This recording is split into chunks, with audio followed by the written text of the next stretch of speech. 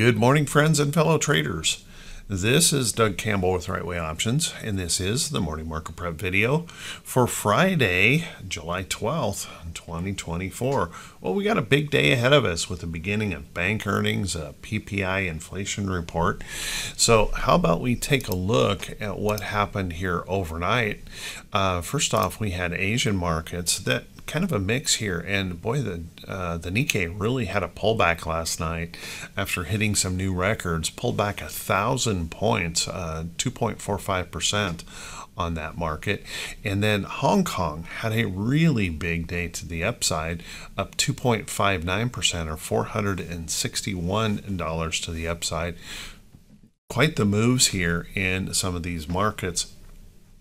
And what what we seem to be um, uh, looking at is this volatility that we're seeing here in the United States is really translating around the world to pretty considerable uh, volatility. If we take a look at European markets here this morning, now European markets are holding in there steady and doing well.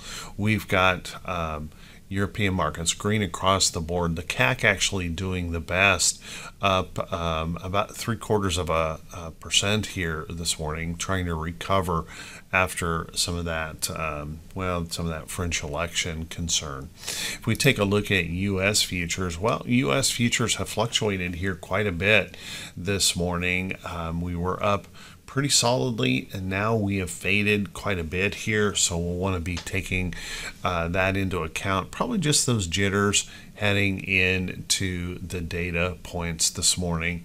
Um, let's take a look at what we've got going on here in oil. Now oil um, pushing to the upside, um, continuing to show some strength here after yesterday's rally. Oil being up 82 cents a barrel this morning at 83.44, and Brent being up um, 61 cents at 86.01 a barrel. Natural gas is just slightly lower. You know, when we look at UNG natural gas, boy, um, continuing to look very ugly, very weak here overall. But if we take a look at the energy sector here, um, ETF, we're starting to hook back up. And there is that possibility that this could be that higher low coming into play here on energy. So keep a close eye on that. Now, if we take a look at our precious metals here this morning, quite an interesting change here. We had um, uh, gold at the high point yesterday at $50 an ounce, but we are pulling back this morning Right now, gold uh, $16.90 an ounce lower, pulling back here. But you will want to note in here that this is a break of this little downtrending area. And if we were to rest and hold onto this upside trend, there's still some potential upside and not that far from all-time highs here. It's really going to depend on how the dollar reacts, I think, to the next round of inflation numbers here this morning. So keep an eye on that if we take a look at uh, silver, um, um, silver also had a really good day yesterday, but gapping lower here this morning, right back into this support and trend area chart. Now, why is that going on? By the way, copper, copper slightly up, platinum and palladium is lower. Why is that going on this morning? Well, one of the things that we've got happening here is probably a little bit of caution or anticipation of the PPI number.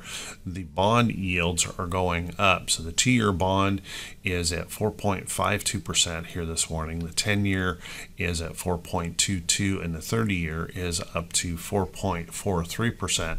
So probably a little bit of concern, and we're likely going to see our dollar be a little bit stronger here this morning, at least until we get um, some news on that PPI and see how that reacts to these numbers. Then, um, last but not least, crypto this morning is feeling a little bit of pressure as well. Um, currently down $330 an ounce. So, what does all that mean for today? Well, how about we settle in? Let's buckle up. Let's get ready for the Friday edition of the Morning Market Prep video.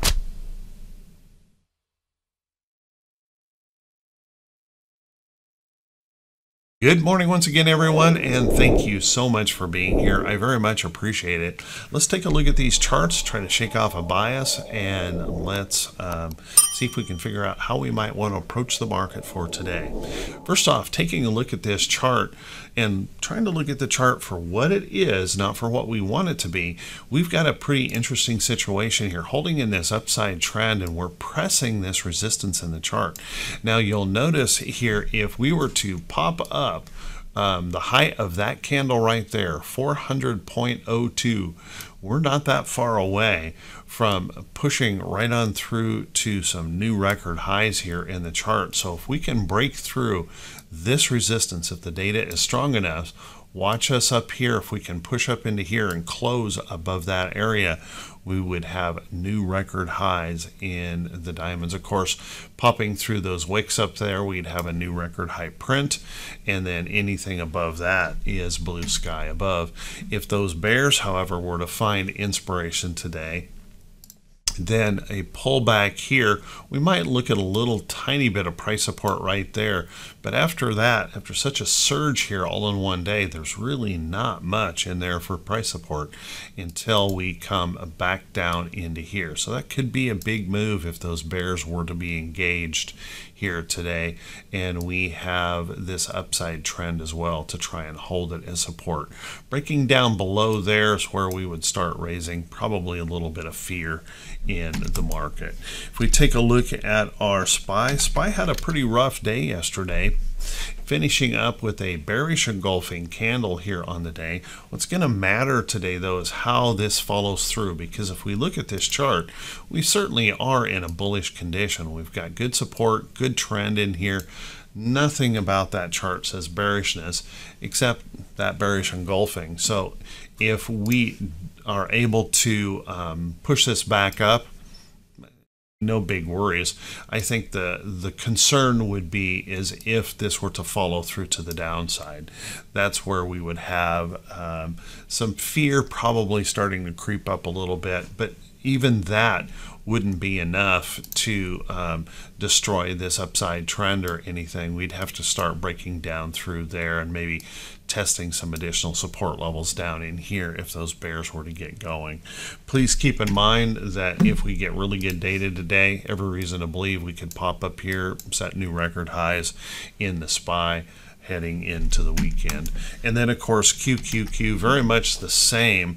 Pretty ugly in that selling yesterday. Um, a real change starting to happen here. I think what we're doing is we may be deleveraging a little bit from big tech and maybe rotating into um, smaller caps and smaller stocks um, looking for a little bit more balance. So maybe we this could actually be a really good thing for the market and have more of a broad-based leadership here overall.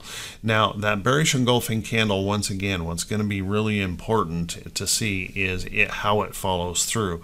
If we were to push up in here, I don't think that's going to be um, any any concern because we're holding support, we're holding trend um, in that chart if we were to follow through to the downside, that would be a problem. If we were to break the support and trend, a little bit of fear could come into the market. And one of the things that we have been so centric into those big tech giants here, we would likely see a lot of folks running for the exit all at the same time to close out those trades and protect profit. So be prepared for the possibility if those bears get going, there could be some painful price moves here in uh, the NASDAQ. And then if we take a look at IWM, IWM seems to be the benefactor of this. Pretty amazing here how we just shot up in a big way. We had two downtrends, one downtrend here, a downtrend here, and we just zoomed through that. And not only that, we broke through this massive level of price resistance here in the chart that goes all the way back to 2021 and 2022, all in one fell swoop. So now the question here for this is again, what is the follow through going to be? And you can see this morning we're trying to gap this up here again today. Watch this carefully though, after such a massive move, you couldn't, you you couldn't um, look at this without the possibility that this could pull back. Now, what's going to be important is can we hold this area price support? We have rejected this area multiple times here in the chart.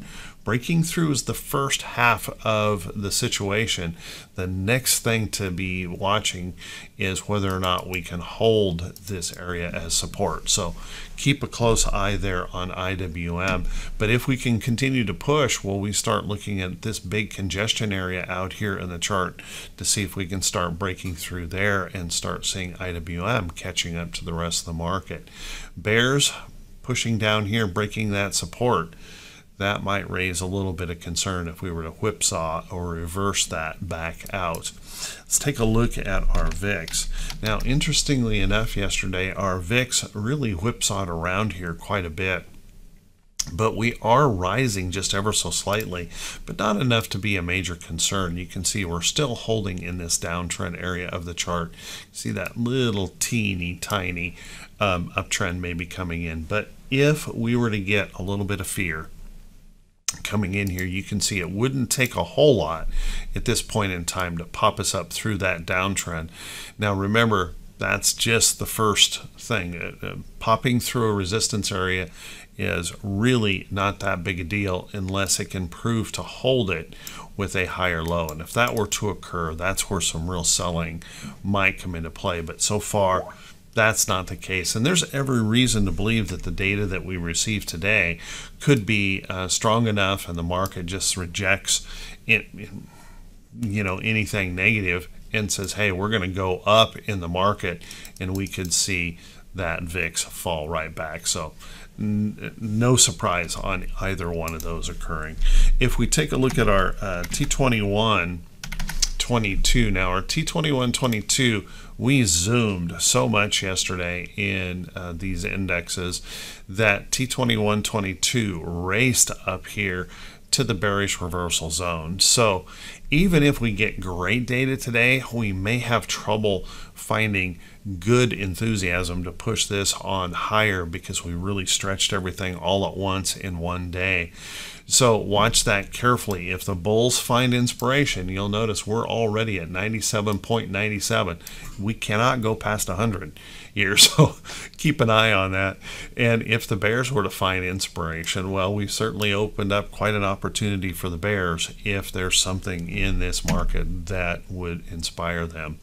If we take a look at our T2108, big improvement here in T2108. Zoomed up yesterday, as you can see. And again, this is hope of a rate cut, which is probably not going to be in the cards until maybe September um, on this move. But watch that carefully here as we pump up in here into some resistance. 55%, almost 56% of the stocks above their 40-day moving average now. So we went from, you know, a low 30s to 56% all in one day um, in a big reversal here. Now, you want to keep in mind that we still have this overall downtrend here.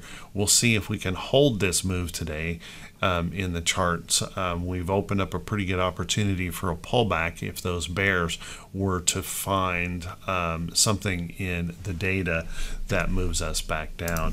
T2107, the same uh, big zooming move yesterday.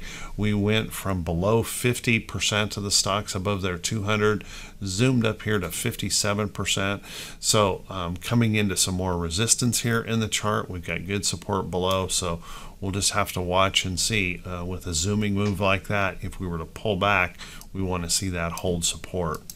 And then our T2101 also had a good lift yesterday. Really popped up here, coming up to 17. We were uh, sub 9 um, um, early in the day. So that was a nice lift, but you can still see we are very lacking in market breadth overall. We're going to need to see some substantial follow through here, and that may be a little bit difficult um, until we start coming, uh, having companies coming out from under their blackout period here on earnings. So watch that carefully. Um, a lot of emotion in the market, big, big whipsaws, big potential moves are possible when we show this kind of lack of breadth. Let's take a look at our um, economic calendar here for today. And our economic calendar, well, as you know, we've got a PPI report here this morning before the bell. They're looking for the PPI, you can see coming in at a 0.1. That's up from a negative 0.2 if it comes in that way. Year over year, they're looking for that to increase to a 2.3 from 2.2. We've got um, ex food and energy month over month coming up two tenths of a percent from 0.0 to 0.0 to 0.2. We've got um, X Food and Energy year over year. They're looking at that remaining flat. And then, of course, X Food and Energy and Trade Services on the month basis, they're looking for that to increase as well. So that's probably raising a little bit of concern here if we see our producer prices going up. Um, so watch that carefully um, here today. Um, look for some volatility if we do happen to miss on those numbers. Um, if they come in hotter or weaker, look for the market to react pretty substantially. Then we got a consumer sentiment number. Um, they're looking at that consumer sentiment on consensus going to 68.5 up from 68.2 still a very weak uh, consumer sentiment here overall, but that would be an improvement. And you can see they're looking for um, inflation expectations to remain at 3.0 in the consensus. Baker Hughes rig count after that, and then we're free and clear heading into the weekend.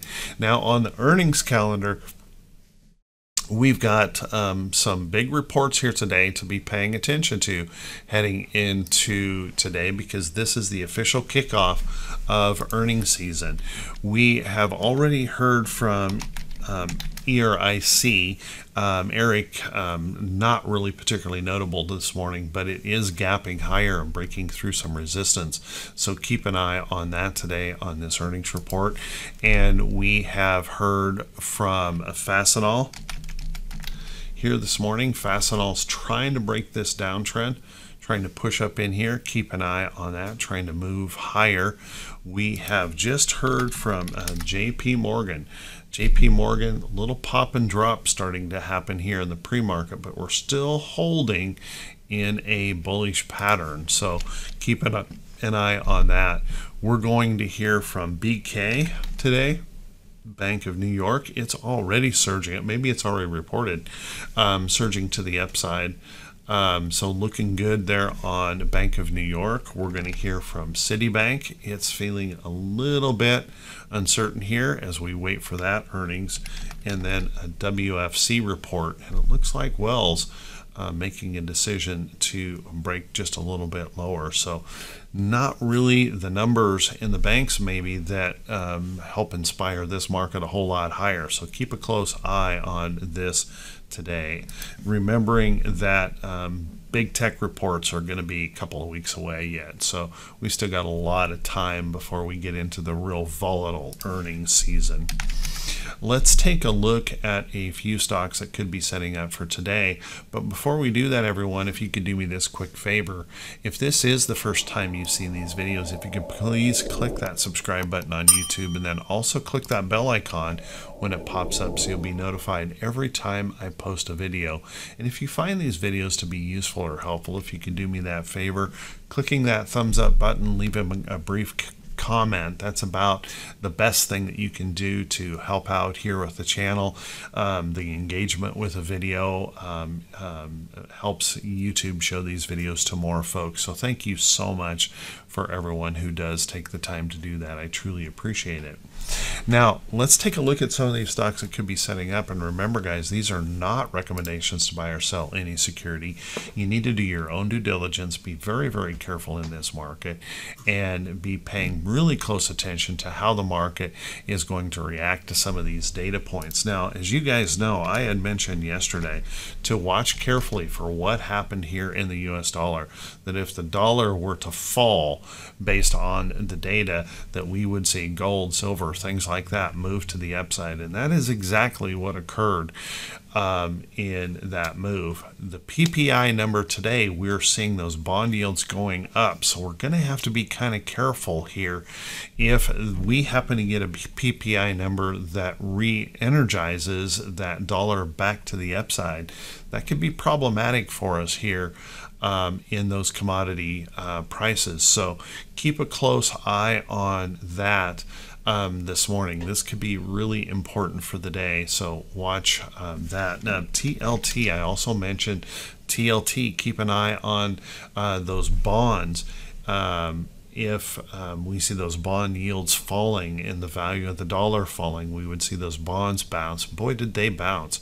Really nice push up here, trying to hold on to some uh, support in here now. We'll see if it can hold but you can see this morning we are pulling back in the pre market heading into this number with that uncertainty about that PPI reading. So watch that carefully here today. We could see some big moves in um, these bonds and precious metals and things like that today based on how this number uh, comes out today. You might also want to be keeping an eye on some of those. Um, other commodity um, stocks out there. CLF, this is a really nice looking chart, breaking the downtrend, holding a higher low. Yesterday had a really good move to the upside as a result of that weakening dollar. Watch that carefully here for that opportunity that that may be able to push on up. If we look at, you know, some of our um, ag-related stocks out there, uh, Moo, um, had a great day yesterday, pushing up really strongly, breaking this downtrend again, weakening dollar, increasing uh, commodity prices, helping um, the ag related stocks in here push up. So watch that carefully if this can continue to follow through and we continue to see that dollar weaken.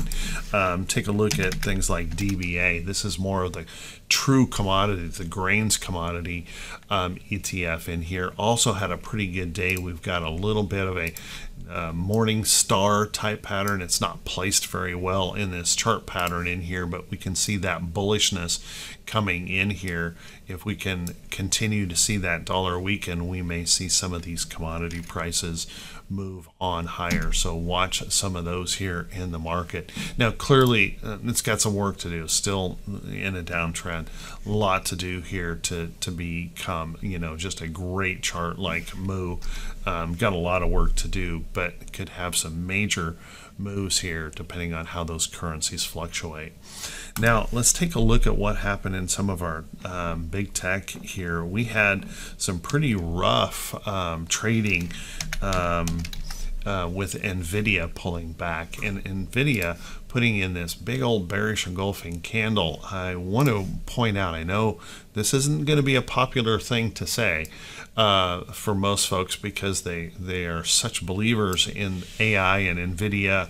And um, I'm not saying that this is going to collapse or fall, but I want you, everyone to recognize the fact that this is a potential lower high.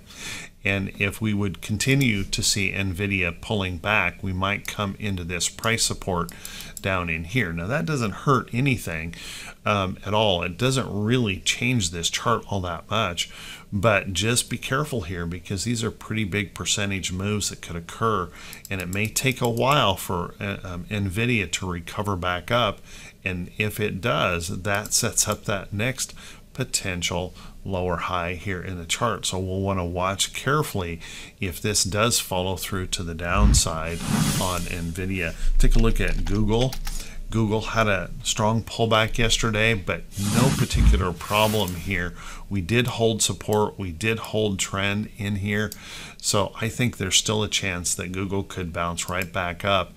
But once again, a failure here. If we push down and break some support in here, it's going to start raising some concern here in these big tech giants. And we could see some weakness come in all at once because everyone would probably be um, running for that exit at the same time. It's such a crowded space at the moment. Now take a look at AMD.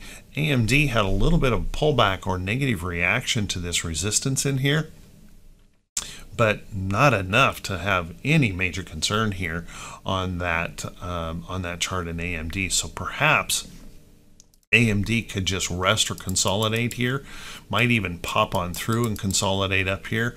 Look for that next opportunity for AMD if it can prove to hold um, this strongly here on that chart.